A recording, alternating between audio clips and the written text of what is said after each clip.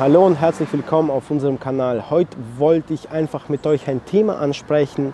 Und zwar, es wird jetzt momentan immer öfters diskutiert, ob Thailand noch sicher ist, allgemein. Wie man mit Stresssituationen in Thailand umgehen soll. Ich würde jetzt nicht mal sagen unbedingt Thailand, sondern komplett Südostasien. Eigentlich wollte ich eigentlich auf die Touristenhochburge eingehen, wie zum Beispiel Phuket, Bangkok, Pattaya und so weiter.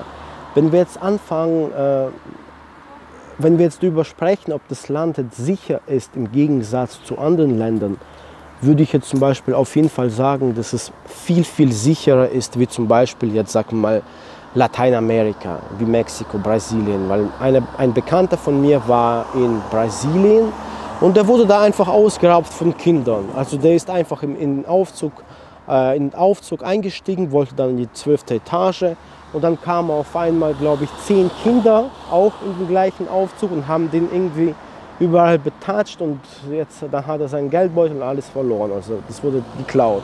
Das ist so eine Masche von denen, das sind organisierte Banden, die da vorgehen.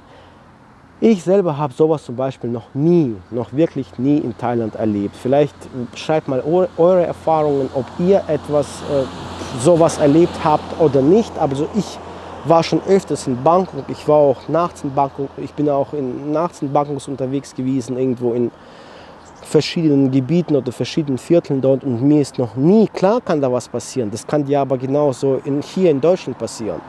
Wenn du hier nachts oder abends irgendwo in, die Großstadt in der Großstadt unterwegs bist, in Frankfurt, in Berlin, in Hamburg, dann kann dir auch hier ziemlich viel passieren. Aber das, keiner würde ja sagen, dass Deutschland irgendwie kein sicheres Land ist. Genau das Gleiche würde ich jetzt über Thailand genauso sagen. Ich, eher für mich ist Thailand eigentlich noch sicherer wie Deutschland, weil ich hatte noch nie irgendwie eine schlechte Erfahrung in Sachen Sicherheit in Deutschland.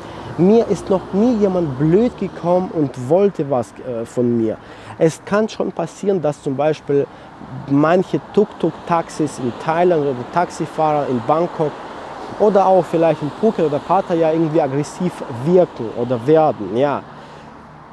Damit muss man aber auch umgehen können. Mein Rat ist an euch, das ist Südostasien. Ihr müsst, schon so, ihr müsst halt mehr relaxed sein. Dazu lehrt auch Südostasien oder lehrt auch Thailand. Ihr müsst wie ein großer, aber langsamer Fluss euch bewegen praktisch. Und dann wird es schon versuchen, scharfe Kanten zu umgehen und dann wird es schon alles gut werden. Weil ähm, äh, wenn wir zum Beispiel Thailand oder die Thais allgemein mit äh, Inder oder mit äh, Nepalesen vergleichen, wenn du irgendwie Stress hast oder irgendwas nicht passt, in Indien war auch eine Bekannte von mir oder ein Bekannte, Bekannter mit seiner Freundin waren in Indien und die wurden dort irgendwie veräppelt, die haben eine SIM-Karte gekauft, die wurde, glaube ich, zehnfach teurer an die verkauft, als, als der normale Preis ist. Und dann, dann sind sie zurück zum Laden und gesagt, das war so ein Kiosk irgendwie. Und dann meinten die, ja, du hast uns irgendwie veräppelt, der, die SIM-Karte kostet, glaube ich, nicht, sag mal, nicht 50 Euro, die kostete 10 Euro. Gib, mir, gib uns die hm, Differenz zurück. Und der weigerte sich, der Typ, und dann haben sie den angeschrien. Und dann war der irgendwie, der war so starr, ja, der konnte, der, der der hat nicht mal ein Wort gesagt, die, die sind irgendwie so starr gewesen. Genau das Gleiche ist auch einem in Nepal passiert. Das würde dir in Thailand nicht passieren. Die Thais, die, die werden nicht einfach so blöd dastehen und nichts sagen. Die, sind, die respektieren sich sehr. Also das Volk, die respektiert, das respektiert sich sehr, sehr, sehr. Und wenn du praktisch irgendwie aggressiv äh, gegen die praktisch an die ja, dass die halt das Gefühl haben, dass du aggressiv bist, dann werden sie aber auch aggressiv und die werden nicht nur so blöd dastehen und nichts sagen. Dann hast du ein großes Problem. Ein Bekannter von mir wurde, hat äh, in Bangkok ein Taxi äh, bestellt am Flughafen. Übrigens in, in Bangkok ist das Taxi nicht teuer. Da kannst du mit dem Taximeter, wenn der Taxifahrer damit einverstanden ist, kannst du wirklich für, glaube, vier, drei 300 Baht oder so, oder vielleicht ein bisschen mehr, fast um die ganze Stadt fahren. Und der hat sich ein Taxi bestellt, ist dann zum Hotel gefahren, das war aber auch abends irgendwie, und die konnten das Hotel nicht finden. Und dann ist der Taxifahrer hin und her gefahren. Irgendwie eine Stunde später sind sie dann angekommen. Der Taxifahrer wollte 150, glaube 150 Baht oder sowas mehr haben. Und dann hatten sich, hatten, haben die angefangen, sich zu streiten, weil am Anfang hatten die einen Festpreis, glaube ich, von 200 Baht ausgemacht oder 300, ich weiß es nicht. Nagelt mich nicht jetzt auf den Betrag fest. Auf jeden Fall musste der mehr bezahlen und was ist, was ist passiert? Die hatten sich fast geschlägert. In sowas, ich meine, das sind 5 Euro, sei es 10 Euro, sei es 20 Euro. Streitet nicht mit diesen Menschen, mit Taxifahren in einem fremden Land, in einer Millionenstadt. Da kann, also, da kann viel passieren, wirklich. Da kann wirklich viel, viel passieren. Und die Thais, die helfen sich gegenseitig. Wenn du, auch wenn du gut dabei bist, körperlich fit und wenn du auch Sport machst und alles, wenn du vielleicht gegen einen Teil kämpfen kannst, dann kommen von allen Seiten zehn, weil die werden zu zehnt auf dich losgehen. Dann hast du keine Chance. Du hast allgemein keine Chance gegen die Thais dort, weil wie gesagt, das ist ihr Land und die helfen sich gegenseitig. Und wenn die sehen, ja, der weiße Farang, der sieht sportlich aus, der ist topfit, der schlägt einen von uns, da kommen Hallo. Da, da, kommen, da kommen viele von euch, äh, dann kommen viele von denen auch dazu und dann habt ihr nur noch Stress. Deswegen würde ich sagen, dass ihr das einfach mal las, lassen, äh, sein lassen sollt. Genau. So, das ist äh, Punkt, äh, nächster Punkt. Das nächste, was ich euch sagen wollte, Südostasien lehrt einfach mehr relaxter zu sein. Passt wirklich, passt euch an die Gegebenheiten an passt euch an die Menschen, die um euch herum sind, an. Seid nicht äh, aggressiv, seid nicht irgendwie, ja, seid einfach normal, so wie die Menschen um euch aus, auch. Ja, lächelt, chillt einfach und dann wird auch euch nichts passieren. Derjenige, der keinen Stress sucht, der wird auch in Thailand keinen Stress finden. Die verstehen das und die schätzen das auch, wenn der Farang einfach gechillt ist, einfach vielleicht ein bisschen Trinkgeld gibt, weil das ist ja Urlaub. Ihr, ihr kommt ja in den Urlaub nach Thailand und da könnt ihr ja auch äh, Trinkgeld äh, geben. Das ist ja überhaupt kein Problem, auch wenn die Menschen dort leben. Ich meine, wir leben nur einmal. Klar, wenn jemand vielleicht einen schlechten Tag hat, kann man, kann man das verstehen. Aber ihr sollt schon positiv denken können. Und dann kommt auch dieser Scheiß, dieser Stress nicht auf euch zu. Versteht, was ich, was ich, äh, versteht ihr, was ich einfach euch mitteilen und euch sagen möchte? Weil die Thais sind allgemein ein sehr, sehr ruhiges, ein sehr, sehr friedliches Volk, würde ich sagen. Die werden euch aus keinem Grund einfach so, wird, wird wahrscheinlich euch keiner irgendwie blöd anmachen oder schief anschauen. Das kann dir aber in Europa, in Europa, schnell passieren, wenn ihr was getrunken habt, zum Beispiel in einem Pub in England und in, in Berlin, in München oder wo auch immer in Warschau. Da kann es schnell, wenn, wenn zu viel Alkohol im Spiel ist, da kann es schnell ja, irgendwie Stress geben. In Bangkok oder in Thailand, ich habe das noch nie erlebt. Ich hab, meistens habe ich erlebt, dass die Farangs gegenseitig Stress machen.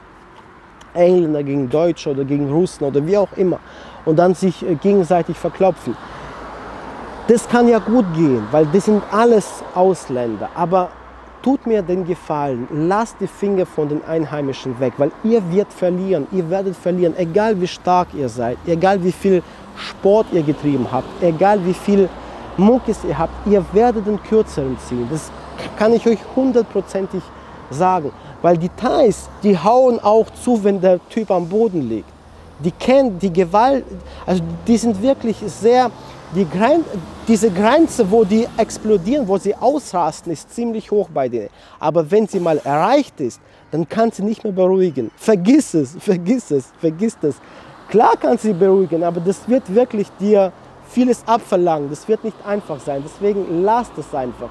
Versucht gut und äh, gechillt und lässig miteinander umzugehen und nicht irgendwie so agro, hey, hey, ja, dass ihr da irgendwie aufmuckt, lasst es einfach sein. Weil die Thais, die sind auch, viele von denen sind auch bewaffnet. Vor allem die Insel-Thais, die von Phuket oder die von Koh Samui, Koh Phangan, viele von denen haben Waffen. Das müsst ihr euch, ich, also ein richtiger Inselthai ohne eine Pistole ist eigentlich kein Inselthai, würde ich mal sagen. Weil ich kenne einige, die haben Waffen Und nicht alle sind legal. Ihr müsst es auch bedenken. Viele von denen sind illegal, die Waffen. Klar, der wird sie nicht einfach so ziehen und dich einfach mal auf der Stelle erschießen. Klar, das wird keiner machen. Der, der weiß schon, warum er die Waffe hat und wann er sie ziehen muss. Aber wenn er sie mal zieht, dann glaubt mir, dann wird er auch abdrücken. Und dann zieht er auch den kürzeren. Überlegt es euch wirklich gut, sich mit Einheimischen anzulegen.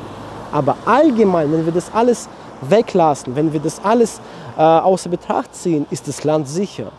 Ich hatte wirklich, klar kann man da Probleme haben. Klar kann man da, äh, kann man, kann man da, äh, kann da jemand was klauen. Es wird auch in Teilen geklaut, aber in welchem Land? Ich habe noch nie gesehen, ich habe noch kein Land der Welt gesehen, wo, es nie, wo irgendwas nicht geklaut wird. Wird in Deutschland nicht geklaut. Und wie wird es geklaut? Wird in der Schweiz nicht geklaut? Klar, nicht, vielleicht nicht so viel wie in Brasilien oder Mexiko, aber das passiert auch in der Schweiz. Genau so passiert das auch in Thailand. Klar solltet ihr eure Sachen, eure Goldketten oder was weiß ich was, nicht einfach auf dem Tisch liegen lassen und einfach nicht mal äh, nicht äh, irgendwie 100.000 Baht im Hotelzimmer liegen lassen, weil ihr müsst es euch so bedenken, wenn die Frau, die im Hotel arbeitet, die kriegt vielleicht im Monat, sagen wir mal, 12.000 Baht, ja, wenn es alles gut läuft. Also sagen wir mal 15.000 Baht. Und da liegt einfach der siebenfache Betrag von ihrem Lohn auf dem Tisch. Das sind Menschen, das ist, ich meine, klar ist, äh, mh, dann kann das Geld auch weg sein. Ihr müsst schon mit, irgendwie mit gesundem Menschenverstand an die Sache rangehen und dann wird euch nichts passieren, weil das Land ist safe. Ihr könnt gerne in, in so Touristenhochburgen, könnt ihr gerne auch die Touristenpolizei holen. Ihr könnt aber auch die normale Polizei holen. Ähm, ja, ich meine, das Land ist eigentlich soweit safe. Da wird nicht auf den Straßen geschossen, wie ich das in den USA erlebt habe, in äh, Kalifornien, Los Angeles, South Central. Da sind wir mit dem, äh, mit dem roten Mustang gefahren. Das war aber die Gegend von den Crips. Die sind alle in Blau und die hassen sich gegenseitig und da kannst du nicht mal über die Straße laufen, da wirst du gleich erschossen, zum Teil. Es gibt solche Hoods dort, da, da traut sich nicht, nicht mal die Polizei hin. Das gibt es in Thailand nicht. Oder vielleicht habe ich es nicht erlebt. Vielleicht korrigiert mich, wenn ich falsch liege. Schreibt auf jeden Fall eure Kommentare, gebt mir auf jeden Fall ein Like zu unserem Kanal, subscribt oder abonniert unseren Kanal. Wir würden uns sehr, sehr, sehr freuen mit der Pinja. Ich hoffe, das Video hat euch gefallen. Wenn ich etwas, bestimmt habe ich etwas vergessen, aber wenn ich etwas vergessen habe, schreibt es auf jeden Fall in die Kommentare. Bis dann.